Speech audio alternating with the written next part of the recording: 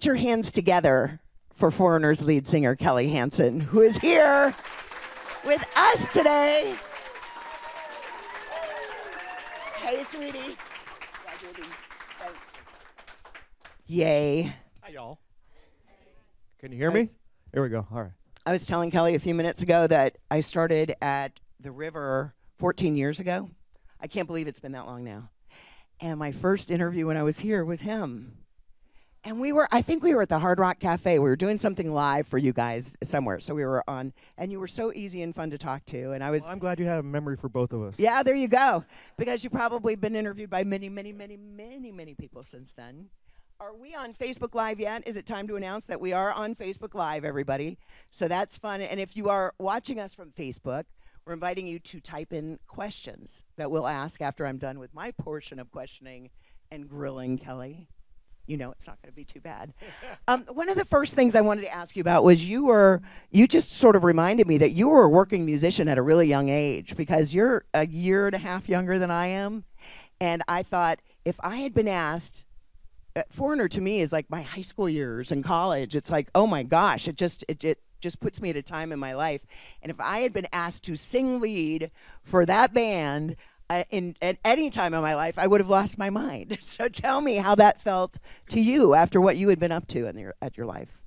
Well, I, uh, at at the time, right before I, I joined Foreigner, I had I had reached a, a a turning point in my career where my whole career th- gigs just came and dropped in my lap, and um, and I was always kind of a all my eggs in one basket type of guy, as opposed to some musicians who are out doing you know 17 different things. Although there was a time when I was in four bands at one time, but oh um, gosh.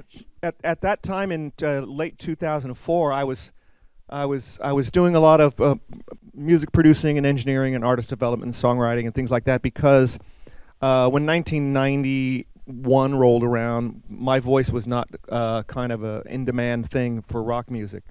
So uh, I had gone off and done other things for a while and said I, I knew I was going to have to sit this out and, and wait for music to music is cyclical. So I, I knew that if I waited long enough, you know, my kind of voice might be in favor again. So, but it got to a point at, at the end of 2004 where I was just I wasn't I was doing more work for less money because of the technical technologically how the music business was now. You were making records in bedrooms and things, and producer budgets were getting lower and lower, and things like that were happening. So, I uh, said I'm going to start looking for other things. Some someone had gotten a gig that I wasn't even called for, and I was like, "Wow, that I have to rethink my modus operandi about how I work." And I said, "I'm going to go out. I'm going to be proactive. I'm going to say uh, yes until I can't say yes anymore."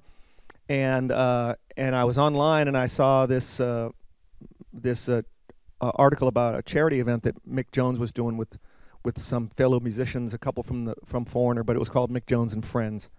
And I thought to myself, "Wow, I hadn't even thought about what's going on with with Foreigner at the time, and and Lou had left in 2004.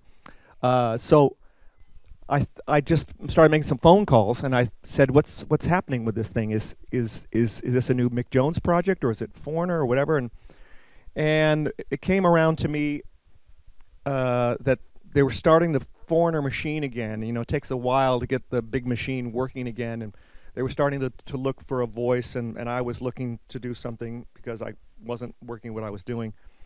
Uh, so it was kind of just um, uh, serendipitous that we both came together at that time, and I I had they were coming to L.A. to do some rehearsals, and I said, "Well, can I come down and jam?" uh, with with the guys, and and I, and I made sure I I said, can I be the first person that they see. I didn't know why they were in L.A. Whether they were listening to other singers or whatever. So I said, can I, they're coming in on Saturday? Going to be there at one o'clock. Can I be there at 1.30? And so uh, so it's a little uh, inside secret. Be the first person because when they find who they want, they don't keep looking. So. um, yeah, so uh, we jammed for about an hour and a half, and I was, you know, it was n- nervous for me, and I had a lot of lyric sheets around, and but I drove home. I got home an hour later, and uh, I got a call, and they said, "We want to do some shows this weekend. Can you start rehearsing tomorrow?"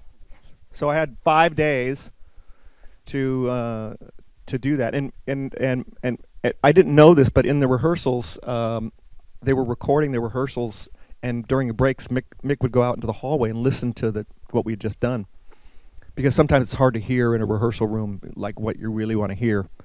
So he was able to listen to it in a mix, and so uh, apparently he he liked we heard, and of course I knew the band and the catalog, the reputation, and the, all that stuff. So I got a call, and I and I hadn't been on the road in 14 years, and I just realized that my life was going to change. It, it was, I knew it was going to change that way, and it just took off like a rocket almost 20 years ago.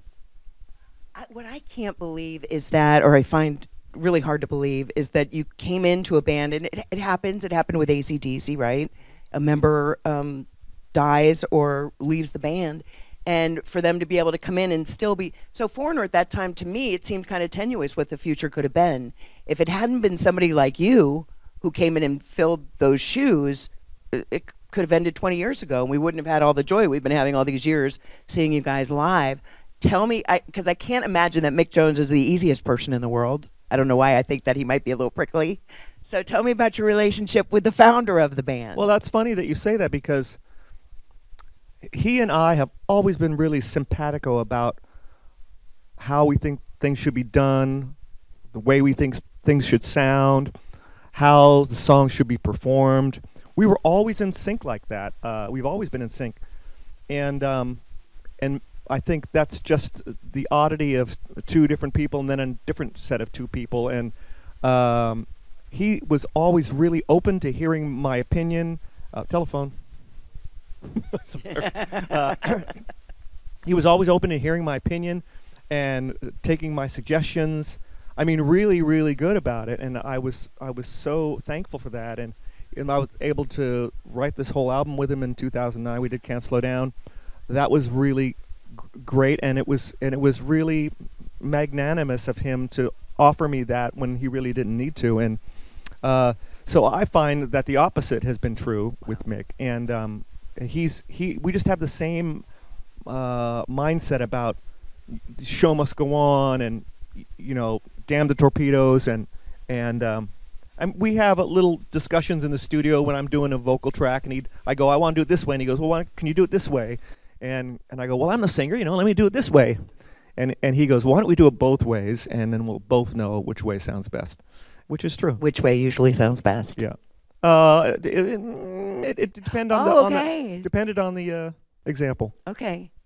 What about? Uh, tell me about the songs that you sing, because most of them you you didn't write. Like what, uh, especially initially, what did you just love to perform live of foreigner songs? What were just fun for you and your voice?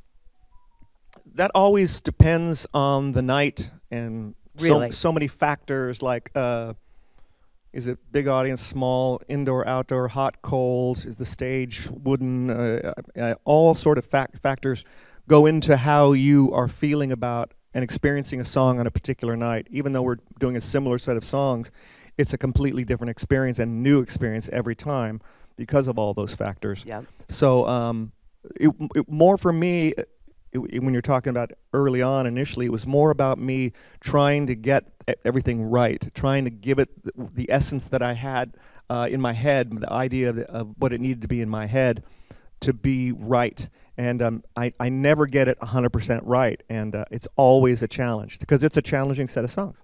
It really is. Mm. And that makes me ask too. I can tell you you have a lozenge or something now. I don't. oh, you don't. I just have a large and grotesque tongue. Okay. So as you suck on your tongue while I'm asking this, um, when you were talking about like you were doing three or four gigs at a time, what do you do for your voice? That I mean, because really, we were just watching you live, and your voice is extraordinary. What do you do to keep your voice in great shape? I, I mean, it's it's it's as complicated and full of minutia as anyone else who's really good at, or really trying to be good at what they do. There's a million things that go into it mentally, and but uh, basically, I have to when I'm on the road, which is nine months of the year. Uh, I'm not a diva, but my voice is, and um, so I have to I have to cater to and pay attention to and coddle and protect my voice, which means no yelling or screaming or staying up late nights smoking cigarettes, telling rock and roll stories at some pub somewhere. Um, it, it's it's uh, it's all about that. The show has to be the apex of my day. Um, so everything is is about the voice, what I eat, what I drink, and how I sleep, and all that is just to try to be the best I can be. And that's uh, it's a very um, it's a it's a tough task to to take on to try to do that. Like every day, I all I'm doing is thinking about my voice and how how's it going to be tonight, how's it going to be tomorrow, what's it going to be like next week. Um, because I don't want to do less than great. You know, I want to do my best for all you guys, and um, so I think it you have to dedicate yourself to that. I just read a story yesterday. Roger Daltrey like had to stop in the middle of a show. He was afraid he was going to blow out his voice, and I was like, "Ooh, what would it been, been like to be at that crowd, right? Ooh, you know, because of course the crowd wants their money's worth. But I love that it's it's that serious a thing, and of course it would be. What about COVID? I was thinking about the downtime with COVID, especially because we were so lucky here. We got to still come into work. Um, Nick is here with me, and it was one of those things where they said, "Do you want to?" and we said yes, and we were very, very careful. And there were very few people in the building, but for most people, they were sequestered at home. I don't know how I would have dealt with that, but I, I saw a lot of rock stars come out of COVID, and it was like they had been renewed. Like all these people that I thought were going to retire were like, "I am ready." To go back out on the road, it's like the best thing ever. Did that? What happened with you during COVID? Well, I, I had been kind of in my mind, just kind of secretly hoping. I was saying to myself a couple of years prior, I'm like, "Boy, it would really be nice to take like six months off, um, because we're just we're we hit it hard all year long, most of the year, all over the world. It's um, I'm very fortunate to be able to do. We all are what we do, but I I'm allowed to say it's tiring, and uh, um, so I've been thinking about like his. I just wish there was a way I could have a little bit of a break. So I think COVID is my fault. And, no uh, ego there. right, but uh, but uh, but for me, for me, it was uh, the first four or five months. It was like, oh man, what a break! I just get to rest my voice and and I, you know, because I have a, a different voice off the road than I do on the road. In fact, when I'm on the road, sometimes I have to tell people, explain to them, to them like, I'm not angry, I'm not unhappy, I'm not unexcited. I'm just keeping my voice at a monotone so that it's uh, you know I save my voice, which is a really weird thing to not for, not only for me but for other people. You're yeah. talking to you go, okay, yeah, yeah. Oh, I just got a brand new car and won a million dollars. That's so great. I it was really exciting, and you know, so uh, so and then after that. Uh, I was telling you that I, I saw the seasons change at my house for the first time. Uh, I'd been in this house since 2007, and I'd never seen the seasons change. So that was kind of unusual. And then I cooked every day because I really like to cook, and I was on Chopped, and I won. And yes, you know that. Yeah, and uh, and uh, so I cooked every day. I in a year and four months, I had one takeout curry, and I went to sushi once. Every other meal was made at home because uh, I just really enjoy it, and uh, so that was really nice. And I got to spend time with my wife and family and uh, that was really great. I got married during COVID, so that was another great thing. And I found the only country, I mean, the only company uh, that was able to marry online and internationally. My wife was in England and I was in LA, and we got married on the internet. How romantic. I would have been mad. Wait a second. How did that work? What do you love to cook? What's your favorite? Oh, dish? just there's there's no limits to it. Um, I like to cook everything. I like French food, Italian food, Spanish food, uh, Asian, any kind of uh, Asian has been the latest thing that I've been kind of trying to delve into and and kind of learn the the the spice palette and the flavor uh, profile of that kind of thing. That's been uh, really fun for me, and just different techniques and and I like I like to just cook and just take my time and relax and make a meal. It's it's like it's like writing music, it's like the pots and pans are your instruments, the ingredients are your melody and lyrics, and you can put together anything that you want to create a song or a or a dish. And it's so it's very much like writing, uh, but there's no record company breathing down your neck, and and you don't have to worry about you know messing up or or, or satisfying thousands of people or whatever you know. So awesome. so I do like to do that. That's uh, now I want him to cook something for us next time you come. yeah, okay before the show. How about that? Uh, the idea of Las Vegas to see shows in Las Vegas. to me, I, I just love it. I remember seeing Tom Jones there 25 years ago with my mom. Not unusual to go out with And anyone. it's the most pristine sound. It's like so crisp sitting. It's really a great place. What about this residency for Foreigner? Well, we've done the Venetian before, so we're, we're back to do it again. And, and it's uh, the different thing about doing a residency is that you normally on tour you arrive, you set up, you play, you break down, you travel to the next show, and the crew uh, has uh, they work really early and to really late.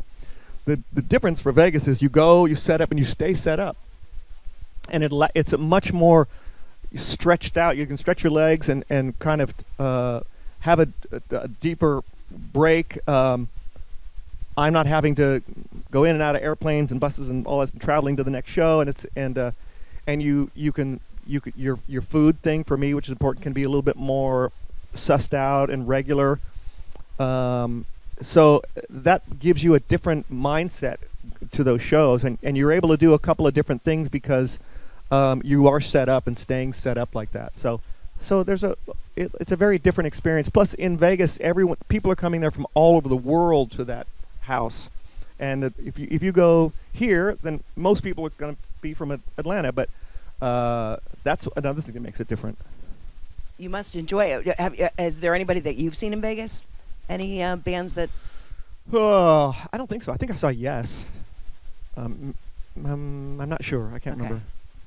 U two is doing Vegas next too. That's Yeah. that to me is going to be very interesting to see how they bring it to it. But I just I love that, and I think that the idea for the crew has got to be a really nice thing. I think they that they like enjoy it. too. yeah. All right, do you gamble? No, I learned a long time ago not to gamble because I we play a lot of casinos and uh, you know once in a while I would walk downstairs and put a hundred down on you know blackjack, but you know just, Yes, Well, you know, what am I doing? I'm a gambler. I love it. Any new music for this tour? Uh, I'm not sure about this tour. There's there's a lot of music in different states of completion, um, and that might be more stuff that we're doing sometime down the road. I'm not sure. It's very hard to uh, finish and, and record material when we're on the road so much. Yeah. So maybe being off the road might, you know, make that more uh, accessible. Um, I think we're going to be spending a lot of time on the hits that everybody's known all these years over the course of this band's career. I think that's the, the smart thing to do. There are a lot of them. There are really a lot of them, so it would be a good thing. Um, the idea of a choir. I did anybody grow up in Atlanta? Some of you, yeah. I went to Northside High School. They had a school of the arts, and so my, that was my dream. My dream was to like um, be on Broadway and sing and you know that kind of stuff. So I I love choirs. So when they started doing uh, with I Want to Know What Love Is, bringing choirs to sing backup for you, I just thought that was astounding. And then now you're going to have choirs opening for Foreigner. Yeah, uh, I too am a product of the public school music system, There you go. and I was I was in choir in school. And um, the fact of the matter is, is that uh, there's been a, a constant string of um, of budget cuts, and the first thing they cut is the arts and music programs. And so we started this many years ago with the Grammy Foundation to kind of raise awareness. One of the aspects of it was to raise awareness about that fact so people could get involved and, and try to help um, change that situation because the arts, in my opinion, helps make a well rounded person.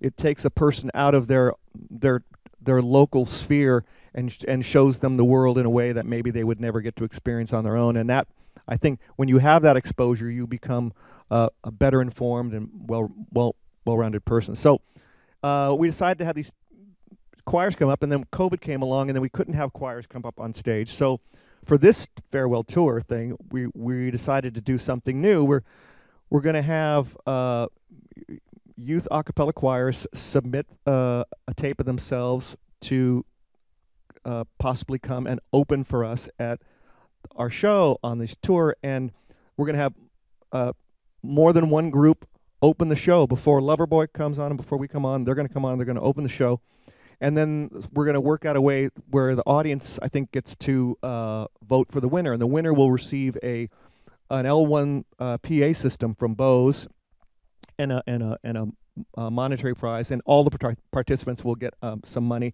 which will help their choir program. So when we look at it, um, I mean, really everybody wins, and, and I get to see the faces of of these kids, and I get text messages or emails from choir directors and and parents telling telling us you know how much this meant to their their child and I've had parents tell me that well their child has decided to go into you know uh, music and and that's really amazing. I think we get the be- the better end of the the whole deal really. It's so smart. It really is because who doesn't like an a cappella group? And then they, they have to they're going to try out singing foreigner a cappella, right? Well, uh, they're not going to sing foreigner songs. Not on stage, but Right. that's what they do to to try I, out. I think so. Yeah, yeah, yeah. Yeah. I mean that's that's really exciting, and I think it's great. Uh, Atlanta is the tour kickoff. July July 6th 6th, is right. the date. Tell us um, what you love about Atlanta. You know, you're a California guy. Well, unfortunately, most of the time on the road, you're in a place for less than 24 hours. Um, on the on a rare day off, you know, I, I think I've had a day off here, and I'm usually going around trying to look for the best place to eat. So uh, so that, but but really, I think that down here you really get a sense of how friendly and and nice people are. Because I've been a lot of places where I, you don't get that sense. So that's I think something ex- exclusive to uh, the South and It's for and real yeah, too. It's Yeah, it's, it's great. So I do like that. Awesome. Any special surprises for the farewell tour? Well, we don't know yet because some of those th- th- things might be off the cuff, Yeah. and uh, obviously, you know, all the former members are always welcome to sit in, and we're going to be having them, a couple of them, come uh, in in Vegas.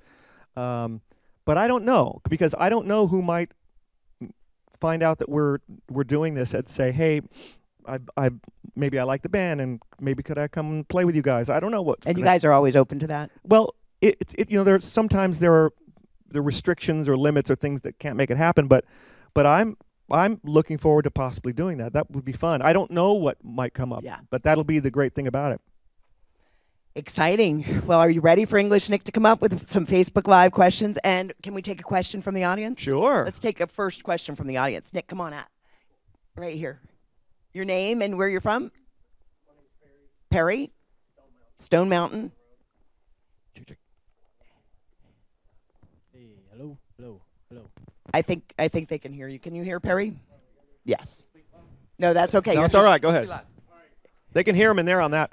He could hear you. They can hear him. I saw you on uh, Ridiculousness TV show, Yes.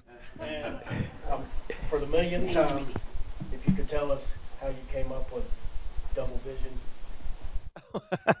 Well, uh, Mick and Lou were attending. Uh, uh, I think it was a New York Rangers hockey game, and uh, I guess the goalie got hit with a puck, and uh, they were talking about it and talking about how he had double vision, and that kind of just struck Mick as a great phrase because Mick is always looking for a, great phrase or a great twist of a phrase, um, and I think that's how many hit songs are conceived. It's it's out of something that's uh, everyday, ordinary, and you don't really think about it until you put it in that context. Right. Yep. Well, it's, they're, they're great song titles. Foreigner's got a lot of great song titles. Nick, have you got some Facebook? I- I, am sorry, Nick. This is Kelly. Hello, Kelly. Kelly English. You all right? We, have met before, mate, up Yeah, at the old uh, Ameris Bank Amphitheater uh, for the birthday bash a while ago when you played our birthday bash. Right, right, Uh, so we talked about the goalkeeper who got the uh, puck in the head. right. Uh, Veronica Wright Daniels says, Kelly, have you ever gotten her on stage? And then she goes on to say, I think she's, this is a positive thing. You're all over the place on stage. you should see me in my head. uh, uh, I have gotten hurt uh, many times. Um, sometimes in ways I can't tell you. Uh, but but there's been a lot of um, oh what uh, okay so so see these posts on either side of the stage here. Um, sometimes when we're doing a show, the stage and the lights are suspended by this type of deal. And there have been times when during a guitar solo break, I might climb up these things.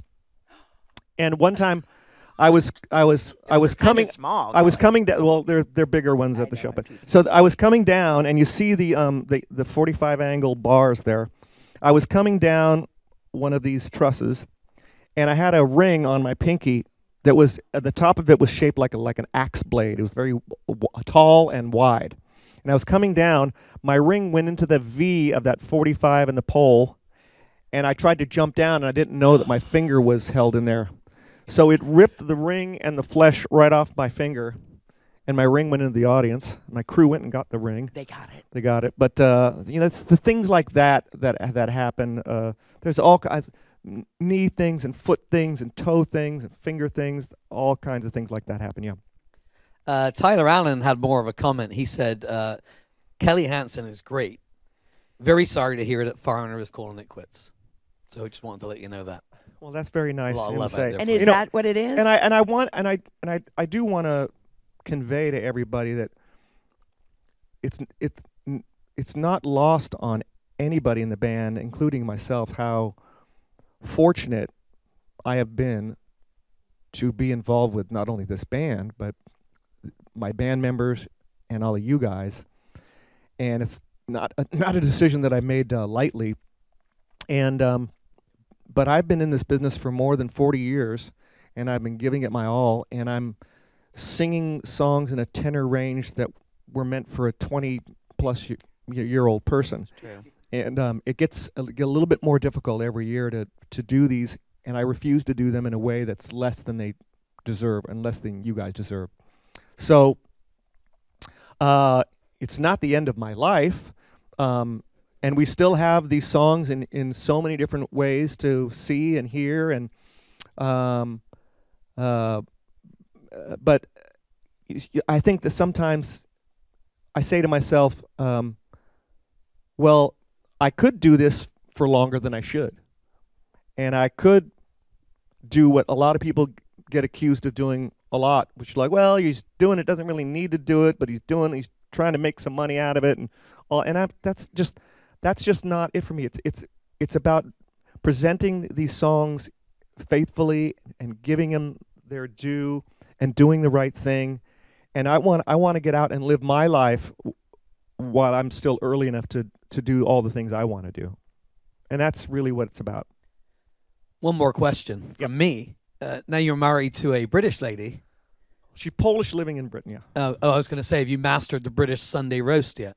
Oh yeah. Okay, cool. I, I've been doing that for, you know, I- all, and I we were just talking. I was talking to my uh, my manager because I I was saying that I I had a, a sausage and potato butty. It's Yeah. called yeah.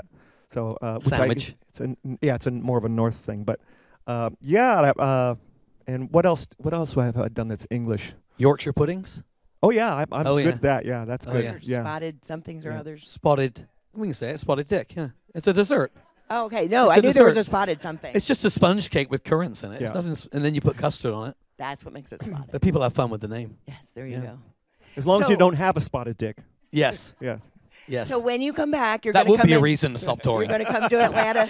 Yeah. Just stop. You're going to come to Atlanta a couple days early and cook for all of us, right? Ah, well, you know, anything's possible. Kelly, thank you so Thank much. you. We're so excited for And you thank guys. you and love guys. you guys. Yes, and thank our listeners and Facebook Live. Thank you.